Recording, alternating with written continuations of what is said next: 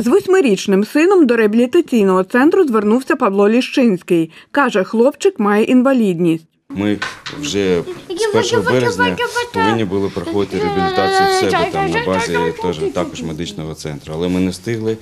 І зараз от, е, цей центр е, нам взяв нас на реабілітацію і нам дуже допомагає. Зараз от проходимо е, діагностування.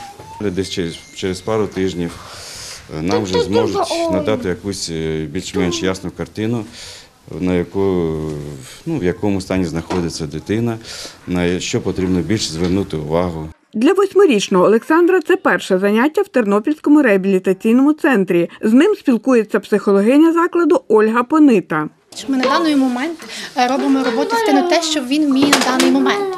Тобто дрібна моторика, велика моторика, перцепція, сприйняття. Тобто перевіряємо розвиток дитини на даний момент і визначаємо рівень розвитку. Ми складаємо індивідуальний план, який підходить і вихователям, і батькам, і пишемо рекомендації.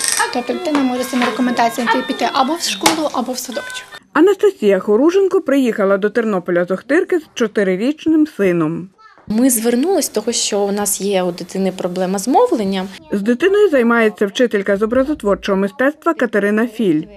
Це є основний засіб віднайти той психоемоційний настрой, який дасть поштовх для розвитку дитини. А тоді ми дивимося, хтось е, більше любить пластиліном, хтось фарбами, наприклад, пальчиковими малювати. Так? Тобто, але найперше це є розвиток дрібної моторики. Як колись Сухомлинський казав, що усі таланти, здібності дітей на кінчиках їхніх пальчиків. У реабілітаційному центрі надають допомогу не тільки дітям, а й їхнім батькам, каже директорка закладу Наталія Турецька. Батьки так само проходять свою е, своє кризове консультування, батьки так само проходять свою групу підтримки.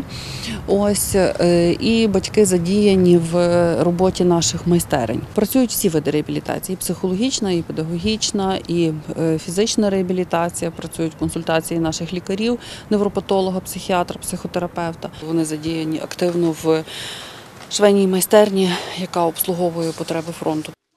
Любов Гадомська, Василь Панчук. Новини на Суспільному. Тернопіль.